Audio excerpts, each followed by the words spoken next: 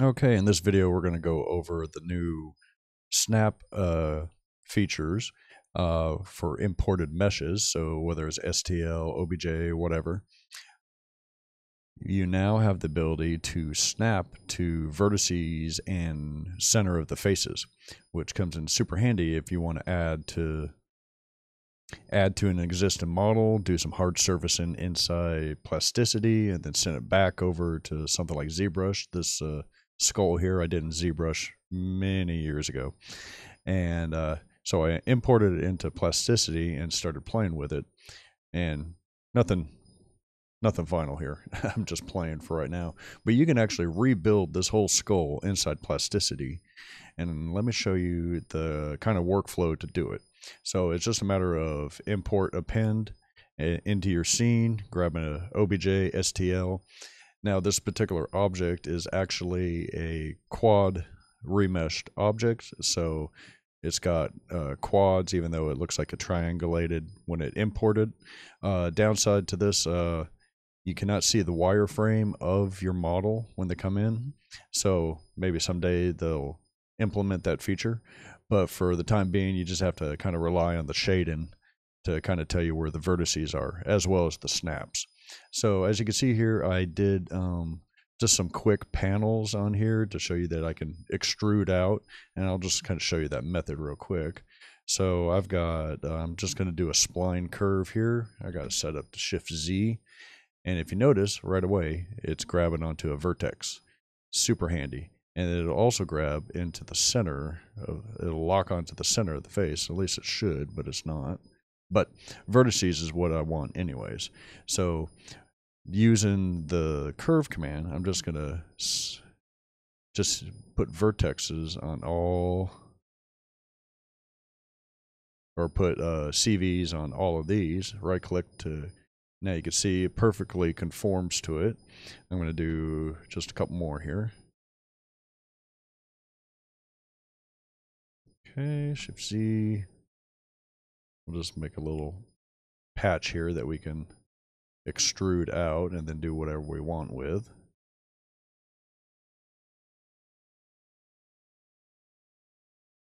There we go. They're all nice and lined up there. So let's go ahead and just hit all these curves.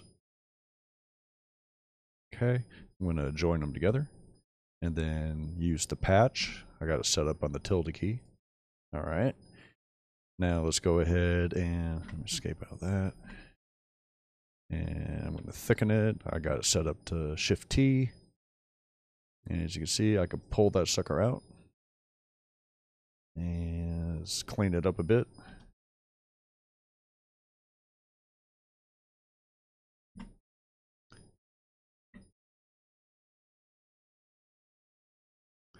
There we go.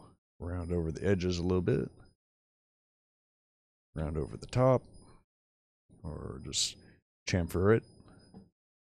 Pretty cool. So you can do a bunch of things here. This is just kind of rudimentary and simple. But like I said, you can rebuild this whole skull inside plasticity if you wanted to, to take the time to draw out the vertices, patch, and then make it into one solid mesh.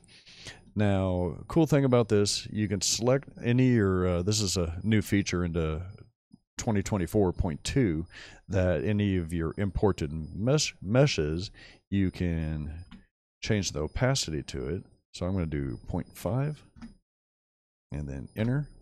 So it doesn't even need to have the render mode on. It doesn't matter if you're using a matcap or the render mode. It will now make the mesh uh, 0.5 or 50% visible so this way you can see through it and it's easier to, you know, help you see around the object a little bit better. So we've been talking about organic stuff here. Well, you can also use the new snaps for CAD stuff. Let me turn these off. Let's get rid of these. Okay, so let's pull up some objects here couple different things here. So I recently redid my 20 sided die and I wanted to bring it into plasticity. I originally created in ZBrush uh, and I wanted I wanted a CAD workflow with it. So I needed to get this little uh, centerpiece and get it into plasticity. So what I did was I imported the mesh and then I rebuilt it. So just doing the same method here, just Shift Z.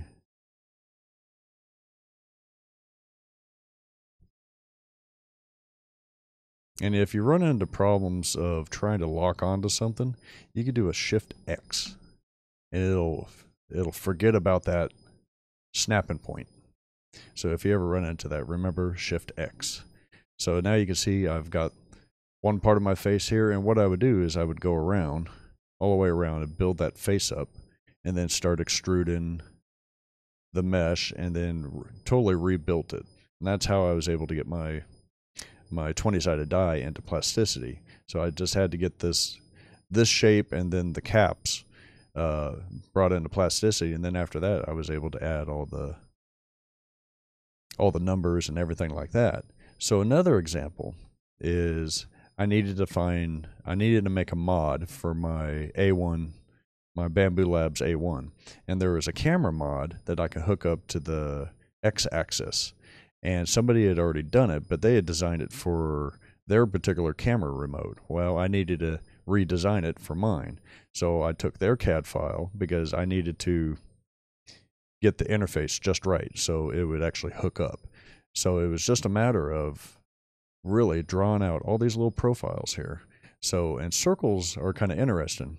If you do three point circle in here, and then you use the same methodology, we just need to find a vertex, find a second vertex, and then just find third vertex. And there you go. You got a perfect circle there that you can extrude and cut out of your mesh. And then it's just a matter of going through Shift A, building up everything. I'll probably go to the end there.